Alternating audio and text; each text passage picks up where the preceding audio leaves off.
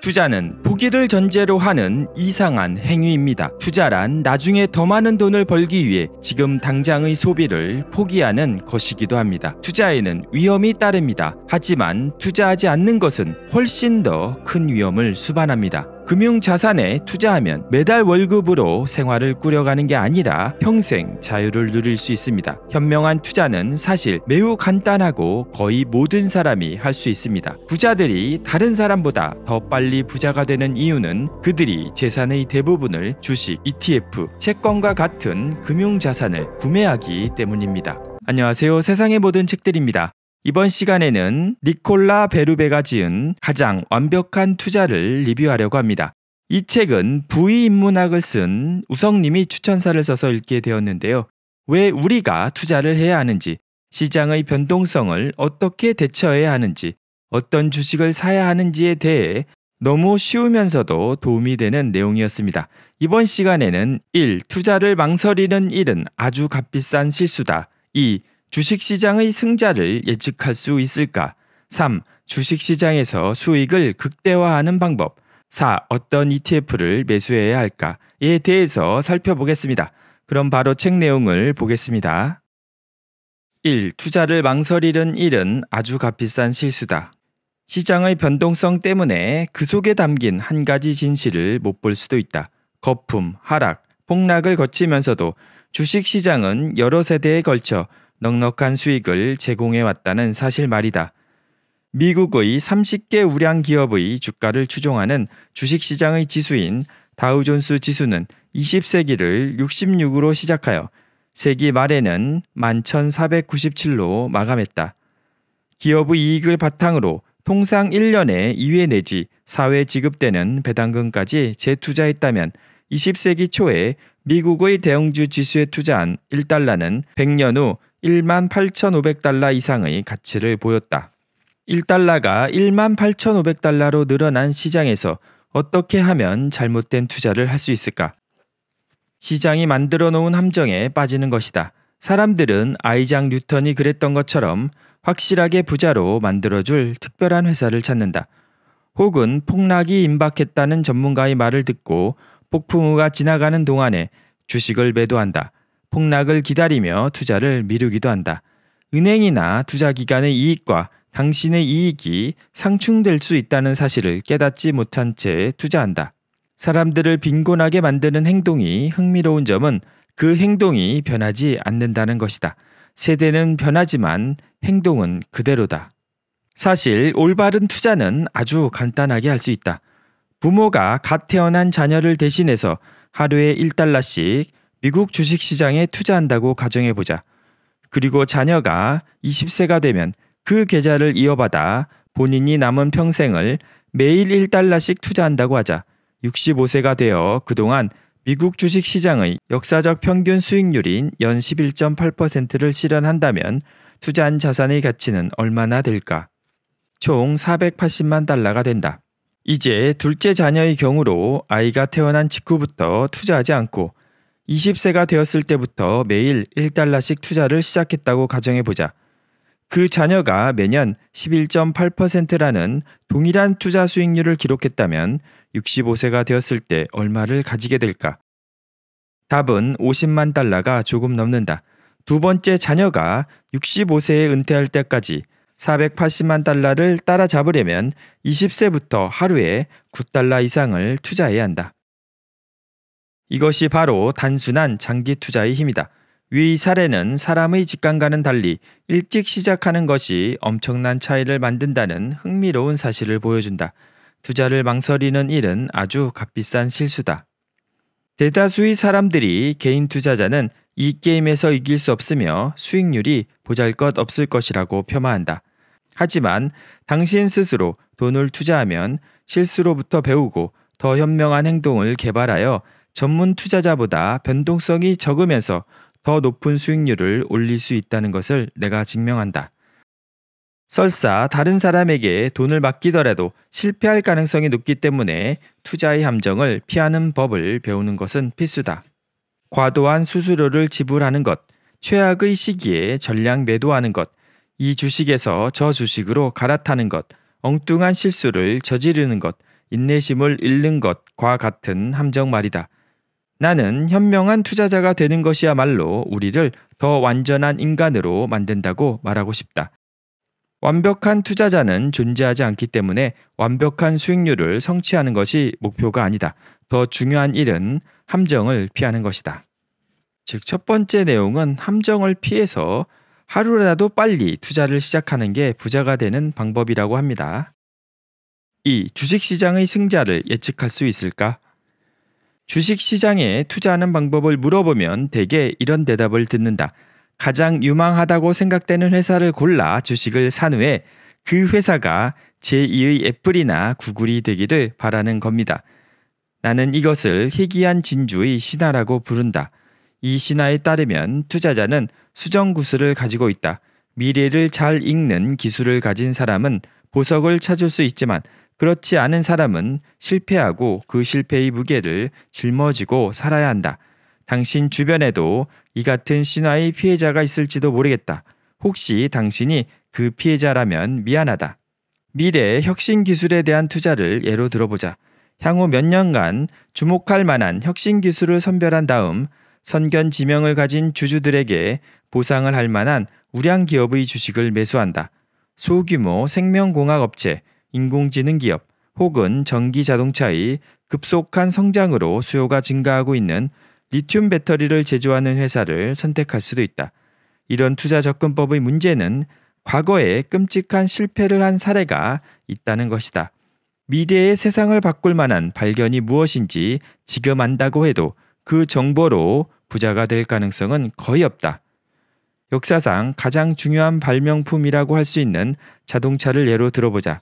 20세기 초 자동차 제조업체에 투자한 사람들은 아마도 자신이 미래를 예견했다고 생각했을 것이다.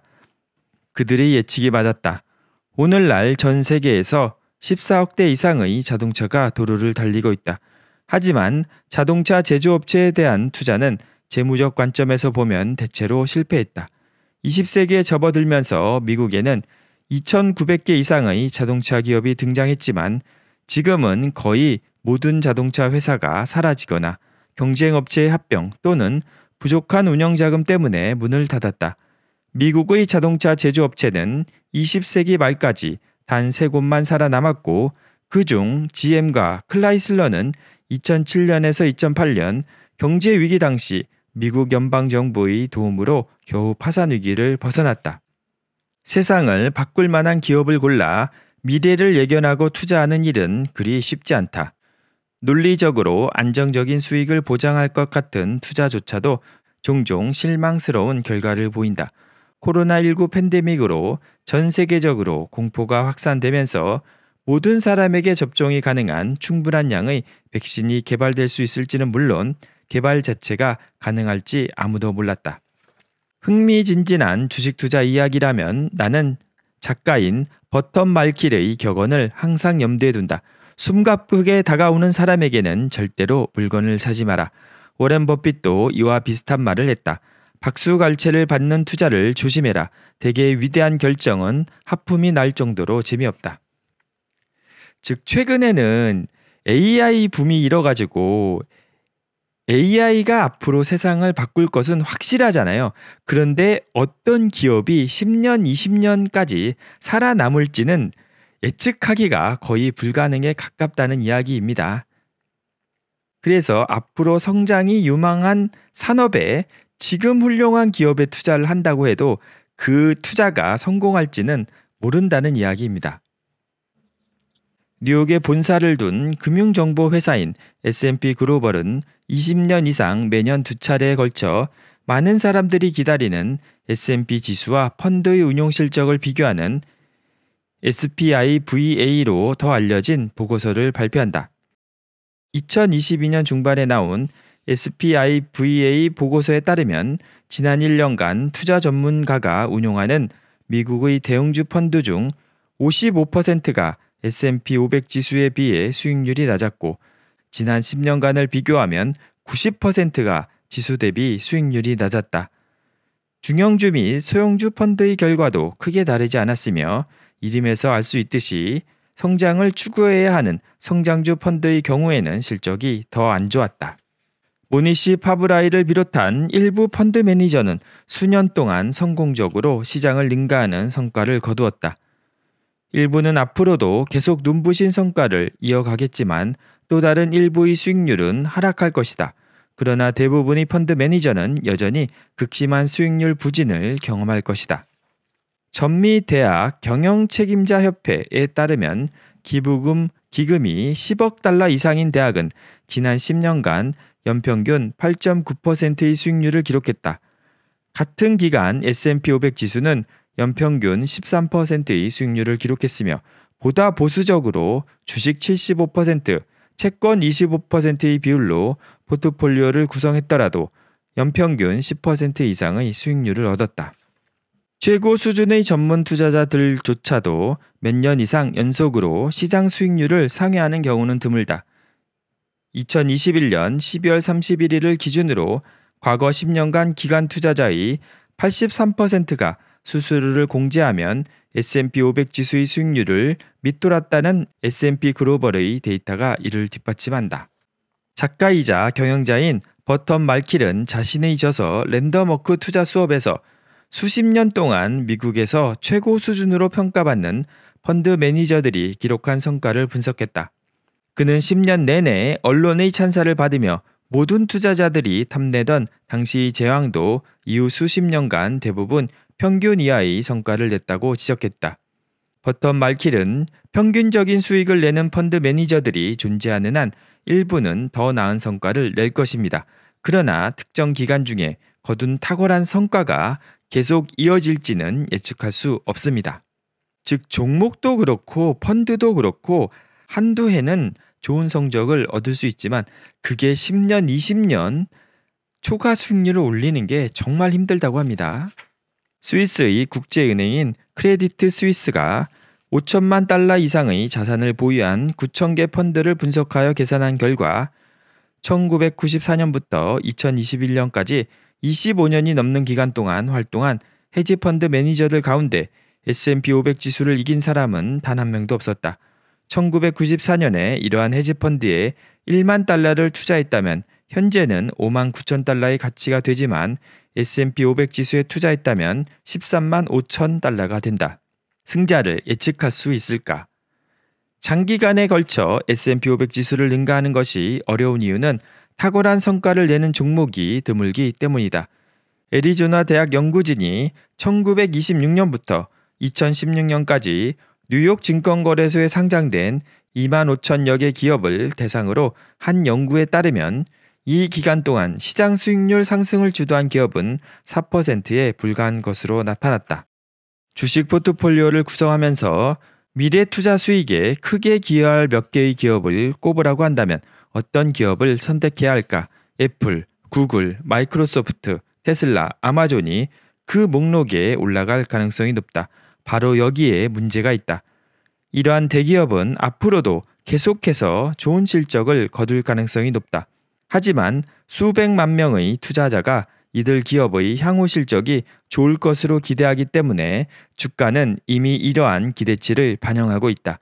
그 결과 이들 기업 주식의 미래 성장성은 지금까지의 상승률에 비하면 미미할 가능성이 있다. 그래서 이 기업들이 향후 수십 년 동안 시장의 상승을 이끌어갈 상위 4%에 포함될지는 아무도 모른다. 한 가지 확실한 점은 어떤 대기업이든 오랫동안 정상에 머무르는 경우가 드물다는 것이다. 예를 들어 2003년과 2023년 미국 주식 시장에서 가장 가치 있는 10대 기업을 비교한 목록을 살펴보자. 그래서 이 표를 보면 2003년에 가장 가치 있는 10대 기업, 오른쪽은 2023년에 가장 가치 있는 10대 기업을 나타내고 있는데요. 마이크로소프트와 엑소모빌을 제외하면 2003년에 반드시 투자해야 할 기업으로 꼽혔던 대다수가 20년이 지난 지금은 더 이상 상위권에 들지 못했는데 투자자에게 20년은 길지 않은 시간이다. 2003년 최대 기업이었던 지인은 파산 위기까지 겪고 현재는 S&P 500 지수에서 85번째에 올라 있다. 이런 까닭에 투자자는 성공하는 기업들로 포트폴리오를 구성하는 일에 신중해야 한다. 모든 시대에는 그 시대의 승자가 있다. 성장 기업, 두각을 나타내는 기업, 모두가 거래하고 싶어 하는 기업에 만 투자한다고 해도 나중에는 어떻게 될지 모른다는 것입니다. 과거에 그래 왔으니까 앞으로도 그럴 확률이 크고 정말 운이 좋아서 마이크로소프트와 엑소모빌 같은 회사에 투자하면 정말 대박이 나는 것이겠죠. 그리고 세 번째, 주식 시장에서 수익을 극대화하는 방법입니다. 여기까지 시청하신 분들 중에 구독을 안 하고 시청하시는 분은 좋아요와 구독 꼭 부탁드리겠습니다. 저에게 큰 힘이 됩니다. 자, 그럼 바로 책 내용을 살펴보겠습니다. 주식은 매수한 당일에도 매도할 수 있다. 이 같은 거래를 day trading이라고 한다. 안타깝게도 관련 연구에 따르면 day trading은 카지노에서 룰렛을 하는 것보다 더 위험하다고 한다. 나는 무슨 일이 있더라도 day trading은 피해야 한다고 생각한다. day trading 외에도 수많은 사람들이 매수한 주식을 몇 달 안에 매도한다. 거래 빈도가 잦으면 수익률이 높아질까 오히려 낮아진다. 여러 연구에 따르면 거래 빈도는 수익률과 반비례하는 것으로 나타났다. 6만 5천 명 이상의 미국 내 투자자를 분석한 결과 시장에서 아주 적극적으로 거래한 투자자는 그렇지 않은 투자자에 비해 절반 수준의 수익률을 기록했다. 요컨대 투자 포트폴리오는 비누와 같아서 많이 만지면 만질수록 작아진다는 격언이 있다. 주식 시장에서 수익을 극대화하는 가장 좋은 방법은 투자한 주식이 수년간, 이상적으로는 수십 년간 당신을 위해 일하도록 두는 것이다. 역사적으로 북미와 유럽의 주식 시장은 10년 가운데 거의 7년 동안 상승했다. 물론 10년 가운데 3년은 수익률이 하락한다. 하지만 장기적으로 보면 장기 투자가 크게 유리하다. 매주, 매월, 심지어 1년 단위를 보더라도 시장의 방향을 예측하는 것은 불가능하다. 뉴욕 증시를 보면 한 해에 22% 상승했다가 다음 해에는 9% 하락하고 그 다음 해에는 14% 상승하는 시기다. 주식 시장의 변동성을 감내하는 데는 한계가 있다. 균형이 잡힌 포트폴리오라면 적어도 다른 형태의 투자 자산인 채권을 포함해야 한다. 채권을 매수하면 미래에 원금과 이자를 갚겠다고 약속하는 정부나 기업과 같은 차입자에게 돈을 빌려주는 것이다. 주식과 채권 사이에서 자산을 어떻게 배분해야 할까? 불가피한 시장의 하락에 대비하는 좋은 방법은 가상의 주식과 채권의 포트폴리오를 놓고 가격 하락에 대한 내성을 평가해 보는 것이다. 물론 하락률을 가정하는 것과 실제 손실 금액을 바라보는 것에는 차이가 있기 때문에 이 연습이 완벽하지는 않다. 50만 달러의 포트폴리오 가치가 20% 하락하는 것을 상상하는 것은 견딜 수 있지만 실제로 10만 달러의 손실은 충격적이다. 더욱이 주식시장의 급락은 경제가 위기에 처해 있고 당신의 일자리가 위험하다는 의미일 수도 있다. 다음 표에서는 포트폴리오에 채권을 추가하면 역사적으로 어떻게 변동성이 줄어들었는지 보여준다. 즉, 개인 포트폴리오에서 채권 비중이 높아질수록 장기적으로 만족스러운 수익을 얻기 위해 개인이 감내할 수 있는 포트폴리오의 하락률은 점점 하락합니다.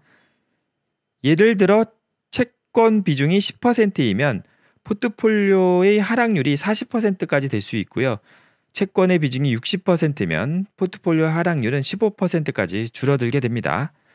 Vanguard의 설립자 존 보글은 모든 주식을 소유하라 해서 주식 50%, 채권 50%의 비율로 시작하는 것이 바람직한 접근법이라고 말한다. 이후에 자신이 주식시장의 등락을 잘 견디는지 안정성을 우선하는지에 따라 주식과 채권 비율을 80대 20 또는 20대 80으로 조정할 수 있다. 존 보글은 젊은 투자자에게는 주식과 채권을 80대 20으로 중년 투자자에게는 70대 30으로 배분할 것을 제안한다. 막 은퇴해서 투자 자금의 인출을 시작한 상대적으로 젊은 은퇴자의 경우에는 60대 40, 고령의 은퇴자에게는 50대 50의 배분을 제한한다. 회사에서 지원하는 퇴직연금 또는 퇴직금이 있는 투자자는 허용 가능한 위험을 계산할 때 이러한 자산도 함께 고려해야 한다. 향후 연금이나 퇴직금을 받을 수 있다는 보장은 미래 소득에 대한 불확실성을 일부 제거하며 균형 잡힌 포트폴리오에 포함되는 채권과 비슷한 역할을 한다. 따라서 이러한 투자자는 변동성이 더 큰 투자 자산, 즉 주식의 비중을 높이는 투자를 선택할 수 있다. 당신이 포트폴리오의 주식, 채권 비율을 선택하는데 어려움이 있다고 걱정할 필요는 없다. 생전에 약 8천만 달러의 순자산을 가졌던 존 보글도 이 문제로 고민했다. 보글은 사망하기 1년 전인 88세에 내 전체 포트폴리오는 주식과 채권이 대략 50대 50으로 구성되어 있습니다. 라고 했다. 나는 그 배분에 익숙합니다. 하지만 내 생각의 절반은 주식을 너무 많이 가지고 있는 것은 아닌지 걱정하고 나머지 절반은 주식 비중이 너무 작은 것은 아닌지 걱정합니다. 결국 적절한 자산 배분에 관해서는 모두가 무지의 안개 속에서 자신의 상황과 상식에 의존할 뿐입니다. 라고 고백했다. 지금 나는 보글이 생을 마감할 때보다 43세나 젊기 때문에 주식시장의 변동성이 크게 문제가 되지 않는다. 나는 주식 75%, 채권 25%의 비율로 가족의 재산을 관리하려고 노력한다. 시장이 침체기를 겪을 때도 포트폴리오의 가치를 어느 정도 유지하면서 장기 성장 가능성을 높이고 싶기 때문이다. 이 비율이 정확하거나 완벽한 방법이라고 주장하는 것은 아니다. 중요한 점은 당신이 편안하게 생각하는 비율을 찾는 것이다. 좋은 정보가 현명한 투자자를 만드는 것은 아니다. 좋은 투자 기법을 배우려면 지금까지 설명한 내용에 익숙해져야 한다. 하지만 지도를 볼 줄 안다고 해서 모두 모험가가 되지 않는 것처럼 정보를 안다고 해서 자동으로 현명한 투자자가 되지 않는다. 문제는 사람들이 투자를 할 때 감정에 휘둘리기 쉽다는 점이다. 이것이 내가 투자에 관심을 가지게 된 이유이며 이 책을 쓰게 된 계기이기도 하다. 투자에 대해 이야기할 때 보통은 돈에 대해 말한다고 생각한다. 사실은 의심, 희망, 즐거움, 후회, 두려움, 다른 사람의 의견, 안정감, 자존심 등 인간의 감정에 대해 말하고 있는 것이다. 이러한 점이 투자라는 주제를 매우 매력적으로 만든다. 미래 수익률을 좌우하는 가장 중요한 요소는 의심할 여지 없이 인간의 행동이다. 여기서도 정말 좋은 내용을 이야기하고 있죠.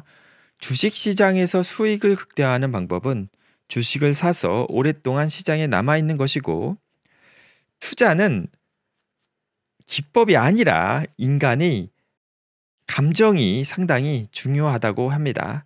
미래 수익률을 좌우하는 가장 중요한 요소는 의심할 것 없이 인간의 행동이라는 게 정말 맞는 말 같습니다. 그리고 마지막으로 4. 어떤 ETF를 매수해야 하나에 대해서 살펴볼 건데요. 그렇다면 어떤 펀드를 매수해야 할까? 100만 달러짜리 질문이다. 두 가지 접근 방식이 있다. 몇 가지 ETF를 매수하거나 멀티 에셋 ETF, 즉 주식, 채권 등 여러 가지 자산의 인덱스나 ETF를 포함하는 ETF 하나만 매수하는 방법이 있다. 이쯤에서 내가 인덱스 펀드보다는 ETF를 선호한다는 것을 알 수 있을 것이다.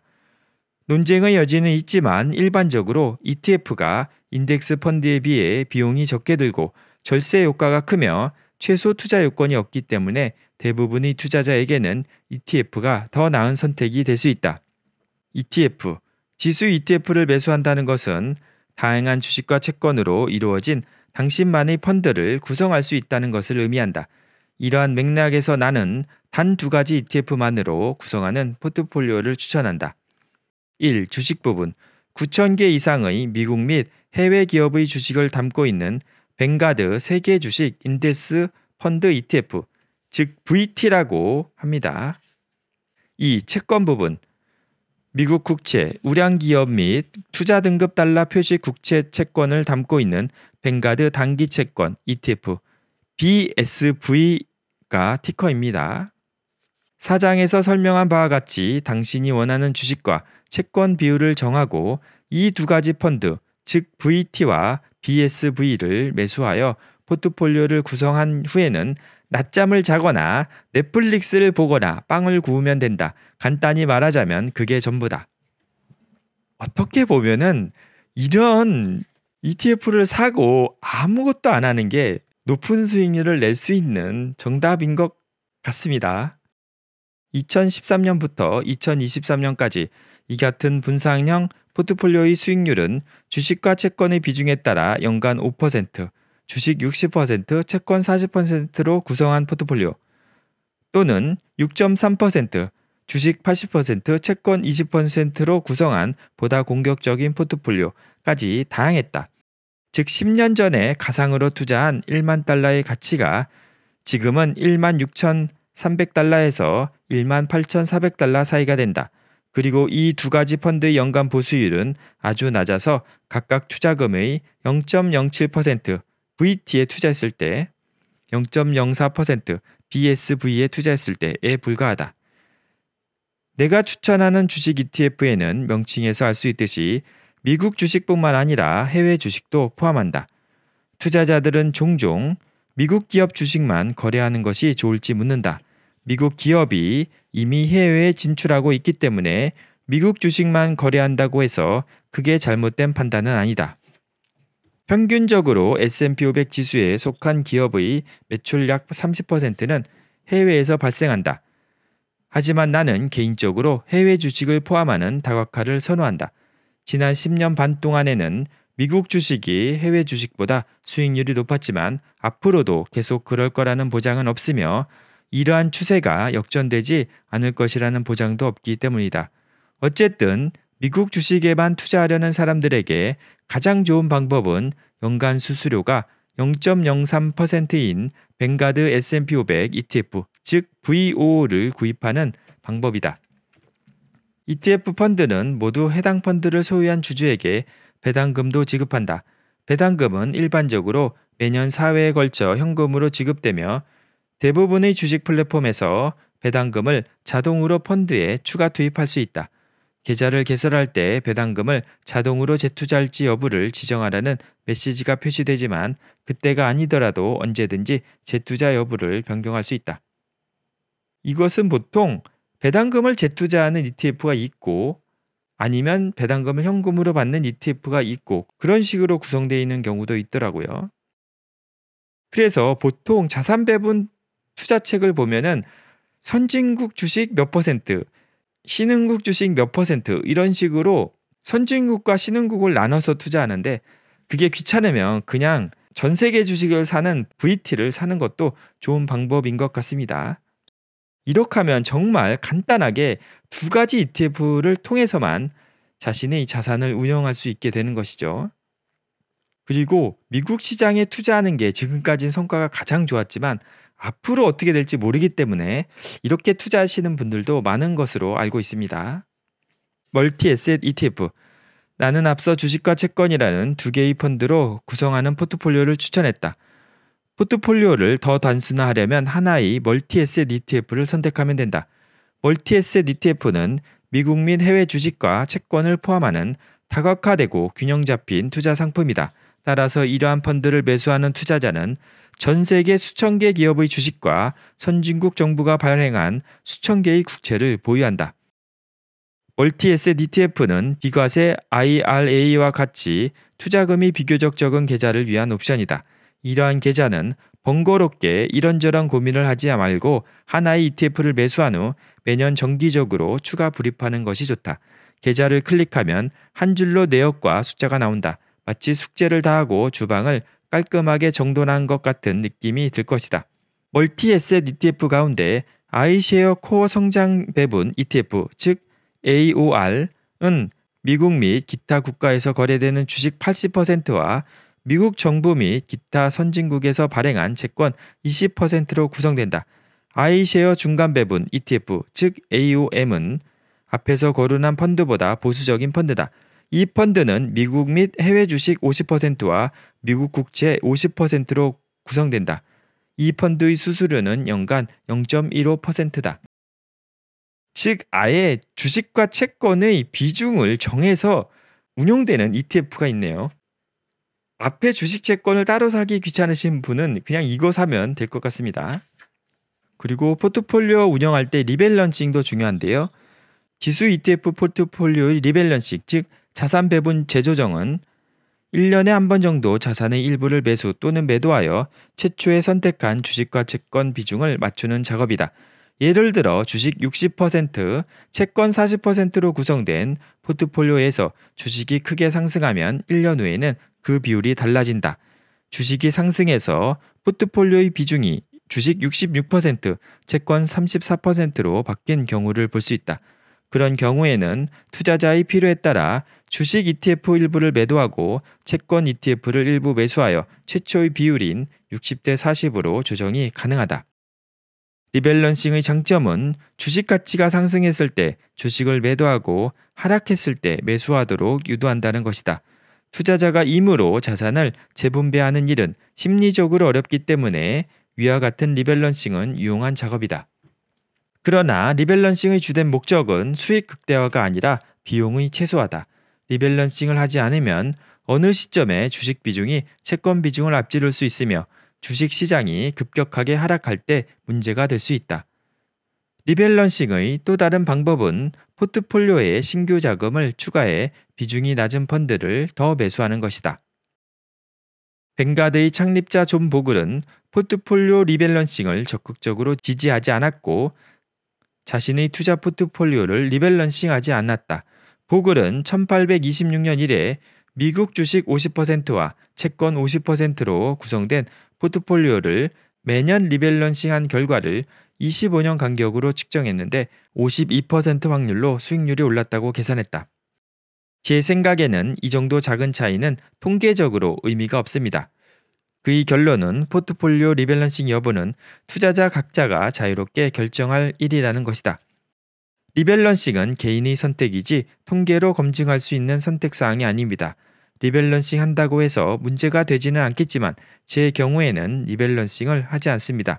주식 비율이 조금 바뀌었다고 해서 지나치게 걱정할 이유도 없습니다. 당신의 주식 비율이 50%에서 55% 또는 60%로 증가했더라도 걱정할 필요가 없다고 합니다. 스스로 판단하면 된다고 합니다. 존 보글이 rebalancing을 안 했다는 게 상당히 흥미롭네요. 다른 책들에서는 rebalancing이 상당히 중요하게 이야기하는데 존 보글 같은 경우는 거의 무의미하다고 합니다. 자, 이렇게 니콜라 베루베가 지은 가장 완벽한 투자의 리뷰를 마치려고 합니다. 1년에 단 한 시간만 투자해도 부자가 될 수 있다. 단순하고 쉽게 그리고 효과적으로 주식에 투자하는 법이라고 책에 쓰여져 있는데 그게 정말로 맞는 것 같습니다. 그리고 솔직히 우리가 투자하는데 주식 투자 방법뿐만이 아니라 자신의 심리를 다스리는 게 상당히 중요하거든요. 이 책에서 5장 시속 200km로 고속도로 질주하기 여기서 복리에 대한 얘기도 하고 있고요. 그 다음에 6장 TV와 알림을 꺼라.